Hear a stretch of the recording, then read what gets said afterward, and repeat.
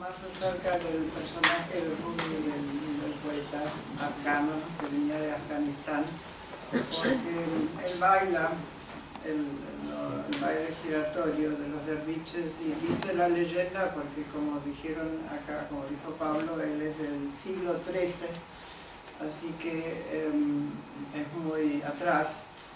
Y dice, se dice que la leyenda dice que él inventó los, los bailes de los derviches.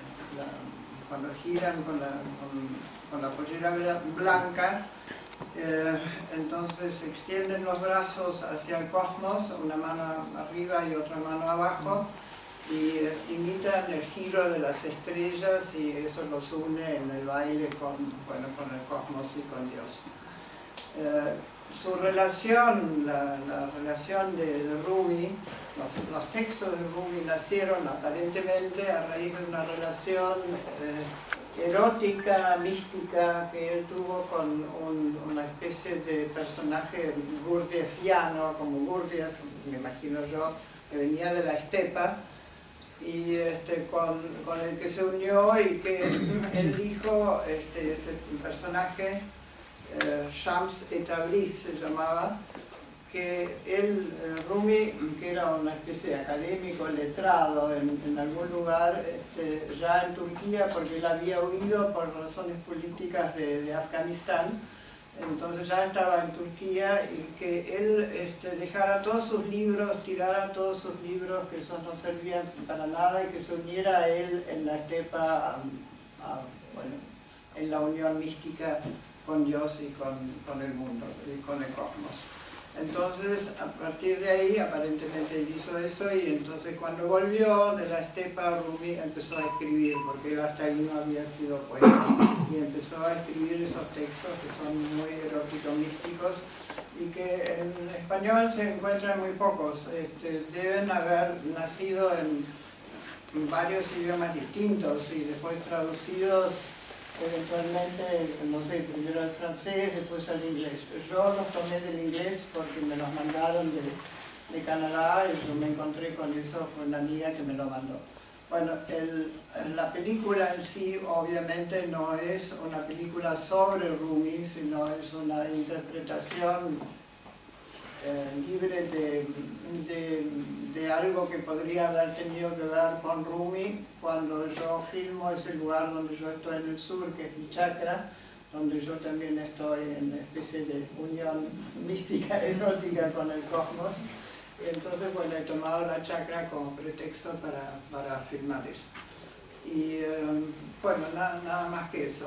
Y en la segunda película, que obviamente no tiene mucho que ver con esta primera, eh, la cosa anecdótica es que eh, Steve Reich eh, tomó la grabación, hicieron, o él mismo, Steve Reich, grabó en una prisión unos negros en Estados Unidos que habían hecho una revuelta y entonces uno de estos muchachos eh, que habían estado en la revuelta dijo, and I had to like open the bruise up and let some of the bruises blood come out to show them. Que traducido era que yo tenía que abrir la herida y dejar que algo de la sangre saliera para mostrarles, porque parece que la policía había dicho que este, no tenían que atacar a los eh, prisioneros heridos los que estaban heridos y que tenían sangre no iban a ser tocados. Entonces todos trataban de producir bastante sangre para, para que no los tocaran. Entonces Steve Reich toma esa frase, graba ese, ese muchacho negro y, eh, y él, el músico, Steve Reich, va desfasando esa frase electrónicamente hasta que llega simplemente a una especie de, de ruido. Yo en la película, en la imagen, este, partí del sonido y lo hice al revés. Partí de una imagen desfasada, fuera, completamente fuera de foco y que entonces entre el sonido y la imagen hace, hace este movimiento. Esa es la intención. Es una sola toma, eh, era manual, con un zoom manual era bastante difícil porque bueno, todo esto en el video que es este, mucho más fácil ahora pero bueno, la hicimos y esto, esto salió así. eh, lo anecdótico después también, agregando una cosa a la otra, es que se lo mostré a Steve Reich en New York y no le gustó nada la película. No nada, primero porque le saqué unos minutos, lo de él dura 12 minutos y lo mío dura 10, porque en 16 milímetros un cartucho dura 10 minutos y no hay más, este, si no hay que hacer un corte. Entonces eso no le gustó, no le gustó el color, le pareció ordinario y hollywoodiense el color. Y, este, después me preguntó por el dinero y dijo este, a quién se lo iba a vender y yo dije que nosotros en la Argentina hasta ahí nunca vendíamos nada, porque, no porque no queríamos, sino porque nadie lo quería comprar. No había candidatos a eso. Y entonces, bueno, nada, entonces dije, bueno, eh, realmente era así, era el año 70, el cine experimental era completamente anónimo, completamente desconocido, jamás alguien había escrito algo sobre eso. Y este, éramos un, grupo de, como así, con toda la furia, 10 personas, y 10 personas eh, en realidad también de alguna manera lo siguen siendo, pero bueno, en aquel momento...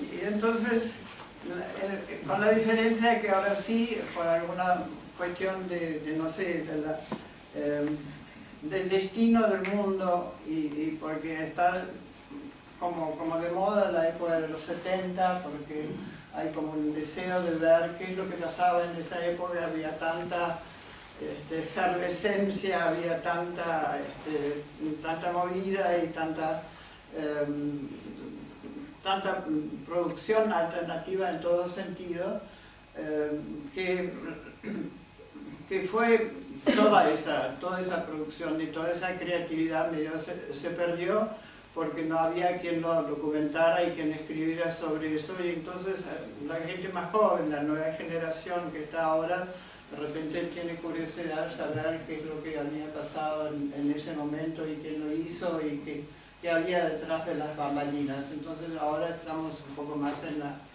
en, en, la vidriera, pero por eso, porque es, es, una, es una pura casualidad. Pero Kamau fue, se, mostró en el mundo, estuvo dando vueltas por ese Sí, pero mucho más tarde, porque en el momento que se hizo, este, acá no, en Buenos Aires no vio nadie, después en algún momento en, en, el CAIC se llevó algunas películas a Europa, pero em, en Estados Unidos, por ejemplo, nunca se mostró. Eh, no, nunca se mostró, excepto ahora cuando Leandro hay un muchacho argentino que vive en New York que hizo un compendio de películas ah, argentinas y experimentales y eh, videos, experiment, video arte y hizo un compendio y se vende en las universidades. Leandro Katz, ¿no? No, se llama Leandro, ¿cómo se llama Leandro? Eh, Vilaro, Vilaro, una cosa así se llama de apellido. Ah, sí, sí, un muchacho de trabajar en, trabaja en New York. Y compró, él mismo hizo un compendio, de, dos compendios, uno de cine y otro de, de, videos. Y entonces, y lo irónico, lo irónico de, de la historia de Steve Reich es eh, cuando yo le dije que nosotros no lo vendíamos, pero que si en algún momento alguien dice, bueno, quizás alguna universidad lo puede comprar, digo, bueno, si lo van a comprar con mucho gusto, este, te doy lo que, lo que quieras, todo, porque nosotros en la Argentina no funcionamos todavía así, ojalá. Bueno, y después pasaron los eones, 30 años o lo que fuera, y este ahí que la, la, primera película que yo vendí, vendí pagado, fue el Camaro, y le tuvieron que pagar, el Leandro le tuvo que pagar a Steve Reich por ese derecho para publicar, así que recibió Steve Reich. bueno, si alguien después, ¿tiene algo para, para preguntar? Ahora tenemos un compendio también, Sí, tenemos un compendio acá. Sí, yo lo iba a anunciar un ratito. Cineasta, productor de, de, de, video y de cine y que ha hecho el primero y único compendio de solamente películas mías. Daniel. Se, puede, se, puede, comprar. Sí, este es el material, eh, yo le pedí a Cisa que trajera hay 10 que pueden después quieren mirar, comprar, etc. Esto editado por Proa, si no me equivoco, ¿no? Fue presentado en Proa. Ha presentado, perdón, entonces había un error en la información que llegó antes. Bueno, eh, y esto es colección de cine y video experimental, el cine experimental de Narcisa Kirsch. Así que bueno, después fuera hay alguien. No, quiero decir todavía gracias a Fabiana, yo no conocía este lugar, pero me parece muy atractivo. Y que, bueno, ahora como está de vuelta de moda el, cine y vengo con proyector y todas esas cosas que yo pensaba que lo había dejado atrás y con algún recelo vengo con eso porque es pesado y hay que poner cables y todo eso. Yo después del cine eh, se murió el Super 8 eh, físicamente en los años 80, 80 y algo, y después de eso volví a hacer este, 16 milímetros como Rumi, etcétera, pero bueno, a la larga eso era muy caro, porque efectivamente ahí no había ningún comercio atrás. Y entonces dije, empecé eh, a mirar el video y ahí entró en mi vida Daniela Mutis, que está acá, que fue mi maestra en el video y me enseñó cómo como mirarlo, como verlo y ella edita, este, editó mis películas a partir de ahí, hizo todas las transcripciones que nosotros hemos hecho y bueno, estoy muy contenta también de que se pueda hacer video y, descubrir otro mundo y otras posibilidades y, bueno, y que están las dos cosas, ¿no? Que está el cine y que está el video y habrá otras cosas más. Me hiciste de eso, justamente la primera proyección que vimos que tiene los dos formatos. Y que hay como un desfasaje primero, en un momento está en ciclo y después el desfasaje al revés. Eh, eso que nos puedes contar, no sé, puedes contarnos algo de la estructura, de cómo lo por qué pensás en la proyección doble, no tengo mucho, mucho que decir, no tengo mucha teoría este, en el arte, las cosas me van saliendo así media por casualidad y por intuición. Esta, esta cosa de, hacer una, una, película, proyectar una película sobre otra, em, me parece que la inventé yo, no, no se la copia a nadie, yo copio mucho, pero eso no se la copia a nadie. Entonces, eh, la, eh, proyecté creo que la primera vez en Logiesa, Osvaldo Giesa, que, tenía unos teatros ahí en la calle Cochabamba en San Telmo. Y eh, bueno, y hice, después me gustó, me gustó esa técnica y lo hice con algunas películas donde yo tenía el 16 y, tenía la posibilidad de tener el video y más cosas, ¿no? Y me nació hay mucha teoría, se va desfasando y cada vez, cada vez que yo veo esa película la veo de nuevo distinta, porque se dan cosas distintas, porque es cuestión de segundos cuando lo largas y se van dando otros desfasajes y también las películas se ven siempre distintas según dónde y con quién se vea.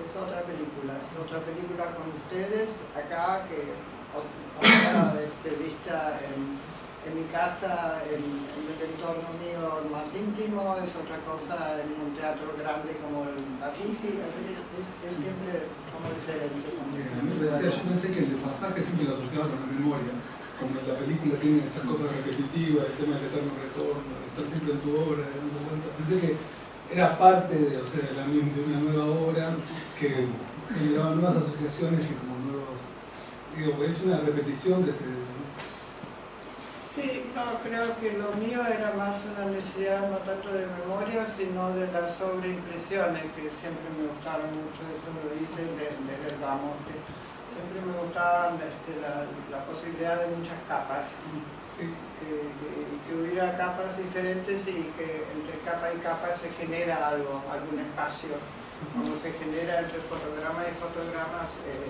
también pasa algo, ¿no? Hay un eh, cineasta bastante conocido en Alemania, se llama Bernard Neckes, que vino también a la Argentina invitado por el Instituto Goethe y él decía, el cine pasa entre fotograma y fotograma, en esos espacios, porque ahí hay este, no se nota cuando uno ve una película, pero cuando uno ve la banda físicamente uno se da cuenta que son todos fotogramas que tienen un espacio. O sea, el obturador tapa y corre cuadro, entonces hay un, hay un, cuadro que es negro. La nervadura. Claro, o sea, digamos, no, cuando, arrastra y todo, si no se vería el arrastre. Claro, tenemos un, famoso visitante de Montevideo que viene especialmente, por favor, venir a presentarte. un instituto de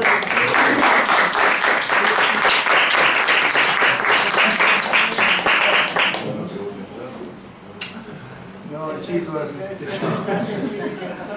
Bueno, primeramente buenas noches para todos. Mi nombre es Guillermo Zabaleta y soy de la Fundación de Arte Contemporáneo Montevideo donde específicamente tenemos un laboratorio de cine analógico, gracias a esta señora, una de las promotoras de, ese espacio también, conjuntamente con una investigación arqueológica de Ángela López.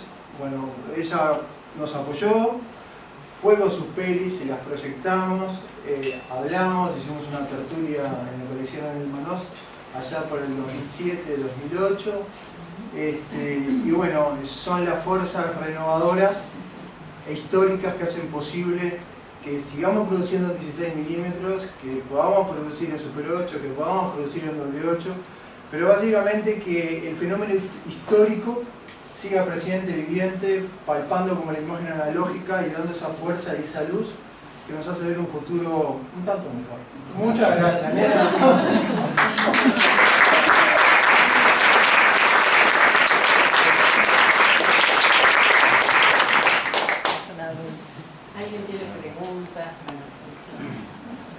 Las, las eh, que te quiero preguntar algo, las eh, sobreimpresiones de la película original, ¿las hiciste rebobinando la película así como en, como en Super 8? Mm, no me acuerdo, pero algunas las hice posiblemente, rebobinando no, no hice tanto, hice mucha refilmación. Tú tenías una maquinita que pasaba y volver a, volver a Para los textos. Para los textos. ¿Cómo? Tenías una maquinita que hiciste hacer para que los textos, pasaran no, movió la 16 milímetros para ver la película, pero con eso la imagen es muy pobre. Yo he hecho bastante, este, bueno, proyección y reafirmación de la proyección desde la pantalla. Y supongo que la mayoría debe ser eso porque volver en la, en la, en la cámara eh, era, era relativamente complicado. El, Rumi lo filmé, todas las partes que están filmadas en Bariloche, esas las filmé yo, pero las cosas que están filmadas en, Buenos Aires, en los interiores, los filmó Humberto Navarro, que era un cámara mucho más profesional que yo y bueno, hacía algunas cosas que yo no sé o sabía hacer. puede ser que él haya hecho alguna sobreimpresión en cámara. Pero la mayoría de las cosas las inventaba en el momento, yo tenía en Super 8 en la época una, una pequeña Kodak Box que era este, completamente primitiva, no tenía, este, no era reflex ni nada, se miraba por un, un, lente y se filmaba por el otro.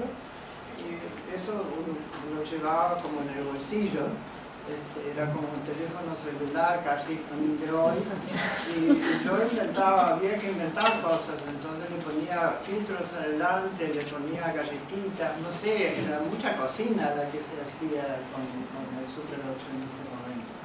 Y era, era fácil, como dijo una vez, nosotros proyectamos bastante el municipal, que es una institución que se llama unión de cineastas de paso reducido. Y ahí nos dieron muchas palizas porque parecían horribles todas las películas.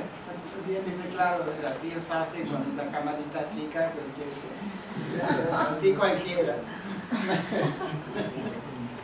No, para ver el tipo de cine que se planteaba ahí era muy distinto. Sí. Eh, yo te quería preguntar de eso, de, o sea, la, la forma, el proceso creativo. ¿Cómo creaste las? O sea, vimos Rumi y vimos Kamau, que son muy distintas, Sí. pero las dos te manejas mucho con la intuición. Sí. Me parece que eso es lo que organiza incluso la doble proyección, así, los, los cruces de formatos, organiza eso, ¿no? Esa fuerza que da incluso los colores, el color blanco y. Sí. ¿Y, en- y, cómo fue craneada la Camout? O sea, ¿pensaste con una estructura o también partiste de una imagen, una, un color, digamos, y después estructuraste? Digo, este doble- es muy doble- difícil decir cómo son esos procesos creativos. Yo creo que más que creativos son alucinaciones. De repente algo que se, presenta y que a vos te debe pasar. pues. Entonces, bueno, lo- en, en aquel momento yo tenía la posibilidad de viajar a Estados Unidos, donde la escena del, del cine y del arte en general era muy, muy, muy, sí, muy revolucionaria. Y este, esta música de Steve Reich y Philip Glass eran estos dos que nacían en ese momento como estrellas. Era una, un sonido y una música este, muy nueva y yo quedé como atrapada por ese sonido y bueno, se, se me ocurrió hacer una, una, una sola toma para que fuera como el arte concreto, que las cosas fueran lo que es, afirmar lo que es. Había en los años 50 y a través de un- persona que ustedes posiblemente no conozcan, se llama Tomás Maldonado, que fue un pintor, dibujante y diseñador que después se fue a Alemania y después ahora está en Italia. Eh, ellos en los 50 hacían eh, una cosa que se llamaba el arte concreto en pintura, eran puntitos y rayas. Eh, había una teoría enorme detrás que yo nunca entendí del del todo, pero bueno, se hablaba de, de que, había que, que no había que tener representación alguna, eso estaba, estaba como prohibido. Entonces había que hacer puntitos y rayas y los puntitos y rayas era eso.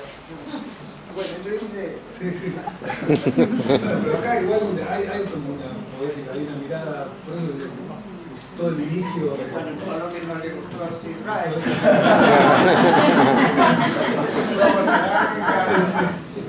Bueno, y luego en la naranja aparecen notas. Sí, está cierto, sí, todavía está. Es eso. Y sigue estando. Ahora, teniendo en cuenta todo lo que pasa en tu vida a través de las distintas épocas y ver cómo avanza el cine, cómo avanza la tecnología, Mm. las distintas...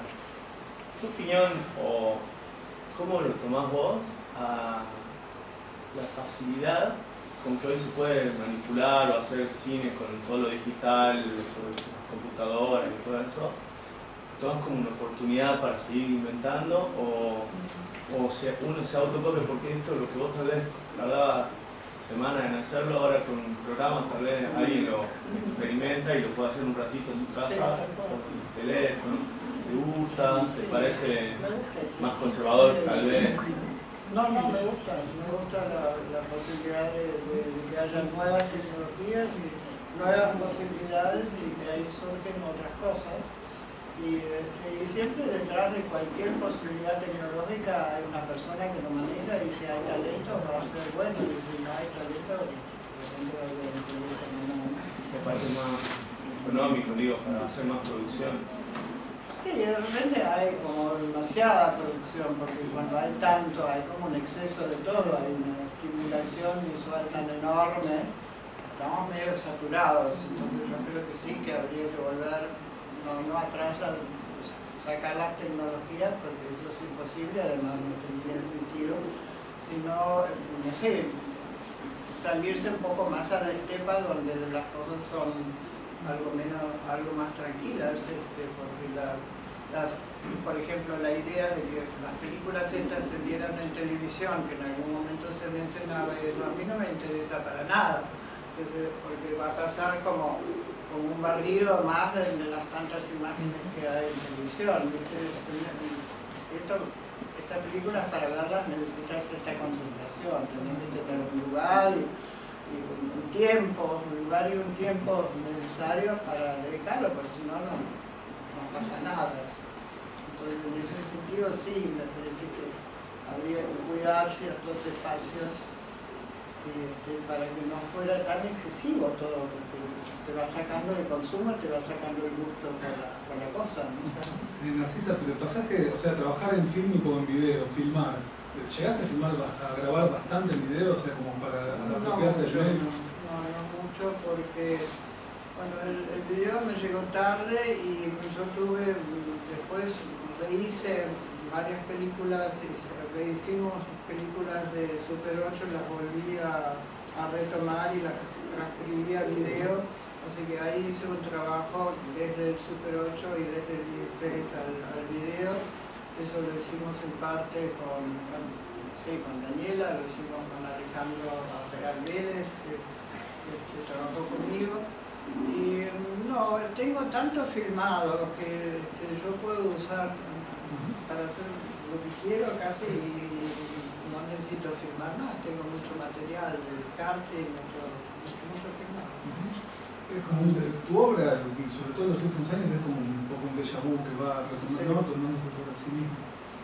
Sí, ahora estoy con acá Clara, que también está acá, que está editando conmigo, estamos haciendo una- un video que tiene que ver con el tema de los textos y con la letra, que siempre es algo que me, me persiguió y me obsesionó mucho desde estamos trabajando en una- un pequeño video y eso es video, video, es algo que surge ahora. Sí. A mí, a mí, por ejemplo, el formato para mí me determina mucho. Yo, yo, por ejemplo, hay veces que uso, uso una máquina de escribir para producir un texto, porque el texto es otro texto, una computadora. Y no es la misma la imagen, digo, un poco hablando de lo mismo, ¿no? Y quizás Narcisa no sé si se metió tanto en el video, porque tiene un gran dominio del fílmico, tiene unas imágenes con mucha potencia, claro, pero Room da todo, pero digamos, son pocas veces, es un lirismo muy, muy intenso. Y que me parece que también eso lo determina también el formato. No es lo mismo el video que hace filmar, filmar, filmar, es una cosa mucho más. Hay gente muy joven que nunca tuvo la posibilidad de ver fílmico y si vos lo ves al día de hoy, la calidad, el pie, el cuerpo, el grano que tiene un fílmico, se volverían así. Yo estaba acostumbrado a eso. Yo, más allá del preciosismo, digo, lo hablo de, de- en cuanto de, digo, pues, sí, sí, en cuanto a cómo te determina el medio en la obra, ¿no? Y me parece, no sé, Sí, el medio determina, Claro. sí. El medio es determinado por, por la obra y no es lo mismo cine que, video, pero no necesariamente una cosa es sinónimo de, de menos calidad y la otra más calidad. Te pregunto a vos, ¿por qué Sí. vos, pudiendo hacer video, porque vos sos de la generación de video, estás Sí. haciendo cine? Porque yo no pude, yo estuve muchos años tratando de hacer un trabajo en video y nunca logré hacer algo que me gustara. Siempre encontraba, tenía la idea de que cuando trabajaba en film, y, o sea, me, me obligué a trabajar con video. Llegó un momento que era como absurdo trabajar en film. O sea, en 2002, 2003 era como que iba a hacer un, quería hacer una película y decía, bueno, vas a hacer, lo voy a hacer en video y no. O sea, en film no, no tenía sentido. Y al final llegué, tuve que volver al fílmico, encontrándome con gente de esa de generación. con, con clave. En el rubro, Claro. Pero, pero, digamos, pero lo utilizo y a mí me, me concentra, me ayuda a concentrar, a determinar, a, a focalizar más cuál es mi deseo de imagen, encontrarme más. Me parece que eso tiene mucho que tu, tu cine. Eh, y que quizás el medio también tiene que ver con eso, ¿no? El, el. No sé, digo, no, pero digo, Son etapas también de la vida, ¿no? Porque yo estoy en la, en la- tengo la suerte de estar en, la, en momento donde puedo elegir. Yo puedo decir, bueno, sigo con el fílmico porque otra vez aparece hasta el Super 8, a veces no hay que podría volver a filmar el Super 8 si quiero. Pero también puedo hacer video. Y también puedo usar el teléfono celular para, no sé, Claro, claro, sí, sí, para puedo, puedo elegir, pero en realidad ya a esta altura este, lo que quiero hacer es una cosa más, no sé, estoy escribiendo bastante más que filmando, estoy más en, en la parte de, de escritura y de, de filosofía y todo eso más que, que en el cine, pero este, lo, lo visual me sigue, me sigue atrayendo y me atrae la idea de que de repente hay gente que no ha estado, eh, que ha estado en contacto, que ha crecido con la computadora y con el video, de repente se meta en esto porque obviamente hay, hay, hay acá hay un deseo de entrar en eso, ¿no? sí, De algo.